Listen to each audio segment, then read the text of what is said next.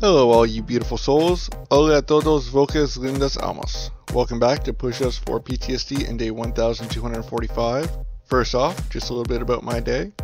As you can see in the opening few seconds, it's a lot of heavy snow and ice mix that I'm shoveling today. I seem to have about twice as much in my driveway and three times as much at the end from the plow to deal with. So on my left shoulder, the surgically reconstructed one, is a tad bit sore, but I'll be fine.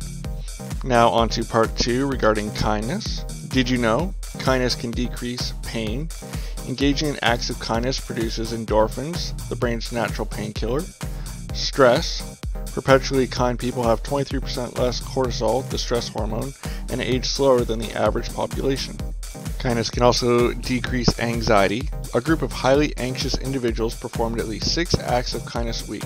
After one month, there was a significant increase in positive moods, relationship satisfaction, and a decrease in social avoidance in socially anxious individuals.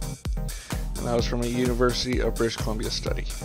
Depression can also be decreased through kindness. Stephen Post of Case Western Reserve University School of Medicine found that when we give of ourselves, everything from life satisfaction to self realization and physical health is significantly improved.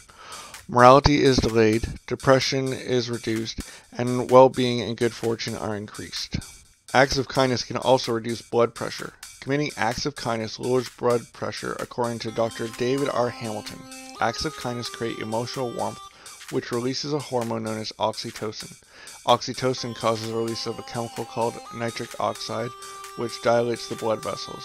This reduces blood pressure, and therefore, oxytocin is also known as a cardioprotective hormone. It protects the heart by lowering blood pressure. The information from both part 1 and part 2 of my kindness videos was taken from dartmouth.edu. All credibility goes to them. I hope you're doing well, and I thank you for your time. Take care, and thank you for surviving.